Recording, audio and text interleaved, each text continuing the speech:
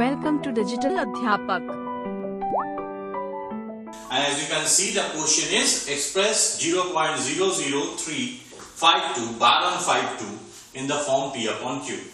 So from the number it is clear that it's a non-terminating recurring decimal and it's a non-terminating recurring decimal then first of all we will, what we will do we will let this number as x so let x is equal to 0.00352 bar on 52 so it becomes x is equal to 0.003525252 and so on.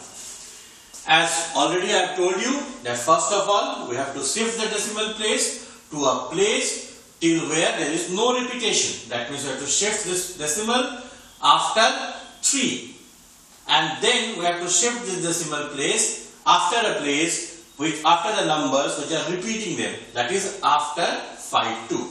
So first of all we have to shift it 3 places so we will multiply it by 1000. So 1000x will become 3.525252 and so on. Now we have to shift it two more places. So we'll multiply it by 1, 2, 3, 4 and 5. 1, 2, 3, 4 and 5. x is equal to 352.5252 and so on.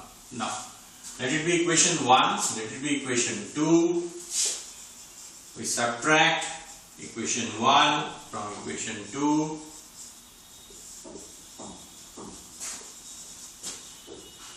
And we get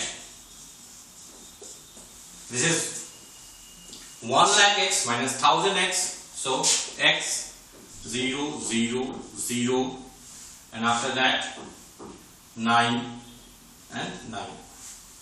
That means 99,000x is equal to 352 minus 3 and it becomes 349.